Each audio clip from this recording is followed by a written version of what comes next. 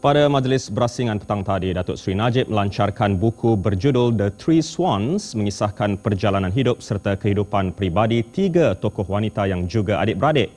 Mereka adalah ibu saudaranya Datin Fakriyah Tan Sri Muhammad Noah, Tun Suhailah Tan Sri Muhammad Noah dan ibu Datuk Seri Najib Tun Rahah Muhammad Noah yang banyak berjasa dan menjadi tulang belakang kepada suami masing-masing dalam membangunkan negara.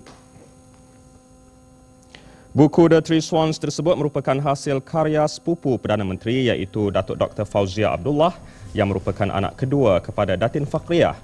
Menurut Datuk Seri Najib, tiga tokoh wanita berkenaan memainkan peranan yang cukup istimewa kepada negara. Tiga tokoh wanita yang istimewa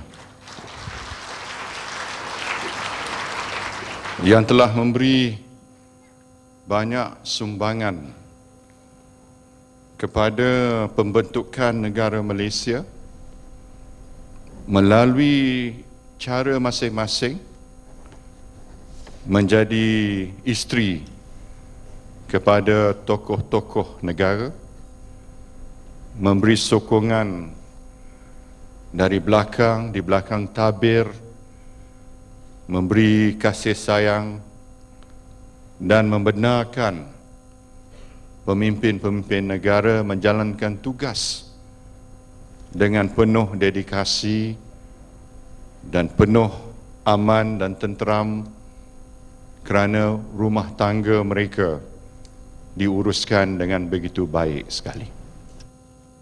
Buku tersebut merakamkan cerita mengenai tiga individu penting dalam hidup beliau melalui penyelidikan yang intensif serta temu bual dengan mereka dan rakan-rakan yang telah membesar bersama mereka. Buku tersebut kini boleh didapati di semua kedai buku dengan harga RM80 sebuah.